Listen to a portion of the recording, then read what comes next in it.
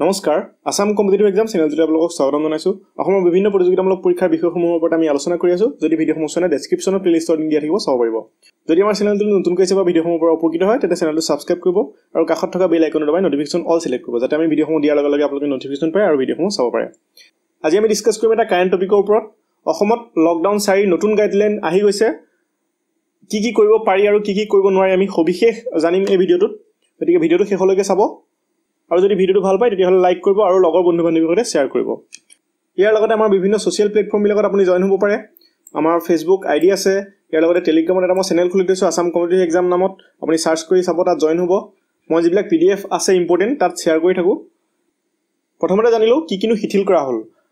এনেকুৱা এটা সময় আহি পৰিছে য'ত কৰোণা ভাইৰাছ দিনে দিনে বাঢ়ি গৈ আছে। বৰ্তমান মই চাই থকালৈকে ওৱান জিৰ' এইট হৈ গ'লগৈ। টোটেল পজিটিভ কেছ ত' আৰু কেনেকুৱা ভয়ানক পৰিস্থিতি হ'ব পাৰে আমি ভাবিব নোৱাৰোঁ। সেইকাৰণে লকডাউন দিয়াটো অতি জৰুৰী। তথাপি লকডাউনে অকল দি থাকিলে নহ'ব কাৰণ অৰ্থনীতিৰ অৱস্থা একেবাৰে বেয়া হৈ গৈছে। সেইকাৰণে কিছুমান কিছুমান ক্ষেত্ৰত অলপ শিথিল কৰি দিছে য'ত য'ত ক'ভিড নাইণ্টিন কেছ হোৱা নাই সেই জেগাত শিথিল কৰি দিয়া হৈছে। কিন্তু যিবিলাক ৰেড জ'ন আছে সেইবিলাকত এই যিখিনি শিথিল কৰা যিখিনি চৰ্ত আছে সেই নিয়মখিনি প্ৰযোজ্য নহ'ব। যিবিলাক ৰেড জ'নৰ বাহিৰৰ জেগা আছে সেইবিলাকত সকলো ধৰণৰ উদ্যোগ যোগান ব্যৱস্থা আদিৰ কাম কৰি যাব পাৰিব। ইয়াৰ বাবে কোনো অনুমতি নালাগে। তাৰ লগতে ব্যক্তিগত কাম কৰাৰ ক্ষেত্ৰতো এই নিৰ্ধাৰিত সময়ছোৱাত কোনো অনুমতিৰ প্ৰয়োজন নহ'ব। ঠিক আছে একত্ৰিছ মে'লৈকে লকডাউনটো এক্সটেণ্ড কৰা হৈছে। এইটো লকডাউন নম্বৰ ফ'ৰ হ'ব। অৰ্থাৎ ইয়াৰ আগতে তিনিটা হৈ গ'ল আমি চবেই জানোৱেই। যিটো লকডাউন ফ'ৰ একত্ৰিছ মে'লৈকে ই এক্সটেণ্ড হ'ব আৰু একত্ৰিছ মে'লৈকে এই নিয়মখিনি প্ৰযোজ্য হ'ব। চাহ বাগিচা আৰু উদ্যোগসমূহত কোনো বাধা নাথাকিব। চাহ বাগিচাত বনোৱাই নিয়মিতভাৱে কাম কৰিব পাৰিব। তাৰ লগতে সকলো ধৰণৰ ৱেৰ হাউচৰ কাম চলি থাকিব। সকলো ধৰণৰ সামগ্ৰীৰ বাবে ই কমাৰ্চ ব্যৱস্থাক অনুমতি দিয়া হৈছে। অৱশ্যে সেই সামগ্ৰীসমূহ উপভোক্তাক নিশা সাত বজাৰ পূৰ্বেই দিব লাগিব। অৰ্থাৎ সাত বজাৰ পিছত সকলো বন্ধ হৈ যাব কোনো তাত খোলা নাথাকিব। নেক্সট যদি চাওঁ সকলো ধৰণৰ অট'মোবাইল যিবিলাক দোকান আউটলেট শ্ব'ৰুম পুৱা সাত বজাৰ পৰা সন্ধিয়া সাত বজালৈকে খোলা ৰাখিব পাৰিব। অৰ্থাৎ দোকানবিলাক খোলাৰ সময় এটা নিৰ্ধাৰণ কৰি দিছে।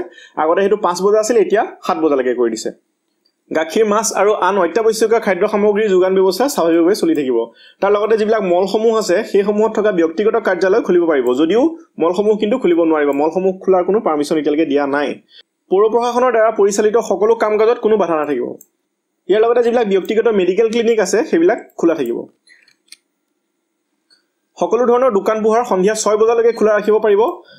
আৰু যিবিলাক অট' ৰিক্সা আছে চাইকেল আছে বা টেক্সি আছে এইবিলাকত এজন চালক আৰু দুজন যাত্ৰীসহ চলাচল কৰিব পাৰিব।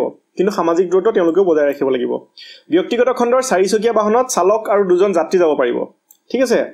দুচকীয়া বাহনত দুজন যাত্ৰী উঠিব পাৰিব কিন্তু সহযাত্ৰীজন মহিলা হ'ব লাগিব নাইবা বাৰ বছৰৰ তলৰ শিশু হ'ব লাগিব। এইটো আগৰ নিচিনাকৈ আছে। সকলো ধৰণৰ নিৰ্মাণ কাৰ্য পুৱা সাত বজাৰ পৰা আবেলি ছয় বজা পৰ্যন্ত চলাব পাৰিব। অৱশ্যে বান নিয়ন্ত্ৰণৰ মাথাউৰি নিৰ্মাণকে ধৰি আন কাম কাজসমূহত এনে কোনো বাধ্যবাধকতা নাথাকিব। ঠিক আছে? তাৰ লগে লগে বেংক কৰ্মচাৰীসকলে সন্ধিয়া সাত বজা পৰ্যন্ত চলাচল কৰিব পাৰিব। তেওঁলোকক কোনো বাধা দিব নোৱাৰে পুলিচ প্ৰশাসনে। সংবাদ মাধ্যম আৰু বাতৰি কাকত বিতৰণ বা আন কাম কাজৰ সৈতে জড়িত লোকসকলৰ বাবে কোনো বাধা নাথাকিব। ঠিক আছে তেওঁলোক ফ্ৰীকৈ থাকিব পাৰিব। চিটি বাছসমূহত বা আন্তঃজিলা যিবিলাক সেৱা আছে বাছ সেৱা আছে সেইবিলাকত পঞ্চাছ শতাংশ যাত্ৰীয়ে চলাচল কৰিব পাৰিব। কিন্তু এইখিনি ক্ষেত্ৰতো কণ্টেইনমেণ্ট জ'ন আৰু বাফাৰ জ'নত সেইবোৰ চলাচল কৰিব নোৱাৰিব। ঠিক আছে? চৰকাৰী বিষয়াসকলে স্বাভাৱিকতে কাম কাজ চলাই থাকিব পাৰিব। চৰকাৰী বিষয়াসকলৰ ক্ষেত্ৰত কোনো বাধা নাই।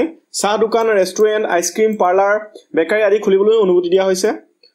তাৰ লগতে চেলুন বিউটি পাৰ্লাৰ বন্ধ থাকিলেও পৰিষ্কাৰ পৰিচ্ছন্নতা আৰু সামাজিক দূৰত্ব বজাই ৰাখি ঘৰত চুলি কাটিব পাৰিব। বহুতে কটাই আছে নহবা বহুত চুলি দীঘল হৈ গ'লহেঁতেন ইতিমধ্যে।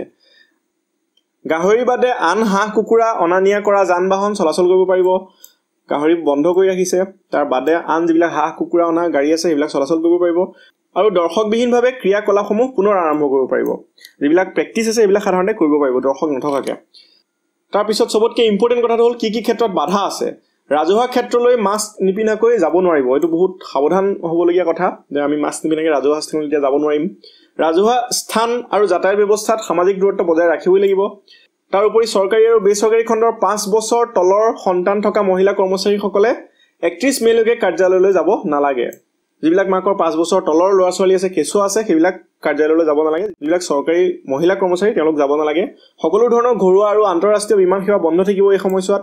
অৱশ্যে নিৰাপত্তাজনিত আৰু স্বাস্থ্যজনিত কাৰণত এই সেৱা অনুমতি পাব।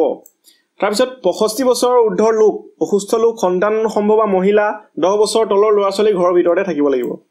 এইখিনি আগৰ নিচিনাকৈ আছে। সকলো ধৰণৰ যাত্ৰীবাহী ৰেল সেৱা বন্ধ থাকিব। এতিয়ালৈকে ৰেল খুলি দিয়া নাই।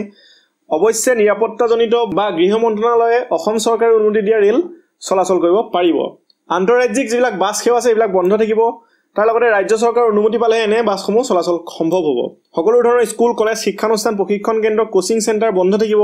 কিন্তু অনলাইন বা দূৰসংযোগ পাঠ্যক্ৰম অব্যাহত থাকিব। যেনেকৈ আমি কৰি আছোঁ আপোনালোকে যদি চোৱা নাই ভিডিঅ'সমূহ চাই ল'ব। চৰকাৰে স্বাস্থ্যজনিত আৰক্ষী চৰকাৰী চাকৰিয়াল আদি কাৰণত ব্যৱহাৰ কৰাৰ বাদে সকলো হোটেল ৰেষ্টুৰেণ্ট বন্ধ থাকিব। বাকী যিবিলাক হোটেল ৰেষ্টুৰেণ্ট আছে সেইবিলাক বন্ধ থাকিব জেনেৰেল কাষ্টমাৰৰ কাৰণে। তাৰ লগতে cinema hall shopping mall ব্যায়ামগাৰ swimming pool entertainment park theatre bar প্ৰেক্ষাগৃহ আদি বন্ধ ৰাখিব লাগিব। সামাজিক ৰাজনৈতিক এণ্টাৰটেইনমেণ্ট শৈক্ষিক সাংস্কৃতিক ধৰ্মীয় আৰু মানুহ সমবেত হ'ব পৰা অনুষ্ঠান আয়োজন কৰিব নোৱাৰিব এই সময়ছোৱাত। একত্ৰিছ মেলৈকে। বিবাহ অনুষ্ঠানত পঞ্চাছজনতকৈ বেছি লোক উপস্থিত থাকিব নোৱাৰিব আৰু অন্ত্যেষ্টিক্ৰিয়াত বিছজনতকৈ অধিক লোক থাকিব নোৱাৰিব। সকলো ধৰণৰ ধৰ্মীয় অনুষ্ঠান ৰাজহুৱা দৰ্শনৰ বাবে এই সময়ছোৱাত বন্ধ থাকিব। আপোনালোকৰ সহায় হ'ব বুলি ভিডিঅ'টো বনালোঁ। যদি ভিডিঅ'টো ভাল পাইছে লাইক কৰিব আৰু লগৰ বন্ধু বান্ধৱীৰ সৈতে শ্বেয়াৰ কৰক। এই জানিবলগীয়া কথা এইখিনি। ইয়াৰ লগতে অসমৰ বিভিন্ন প্ৰতিযোগিতামূলক পৰীক্ষাৰ বিষয়সমূহ আমি ডিছকাছ কৰি আছোঁ এই চেনেলটোত গতিকে যদি ভাল পাইছে চেনেলটো ছাবস্ক্ৰাইব কৰি ল'ব। আজিলৈ ইমানেই। পুনৰ লগ পোৱাৰ আশাৰে আজিলৈ বিদায়। ধন্যবাদ।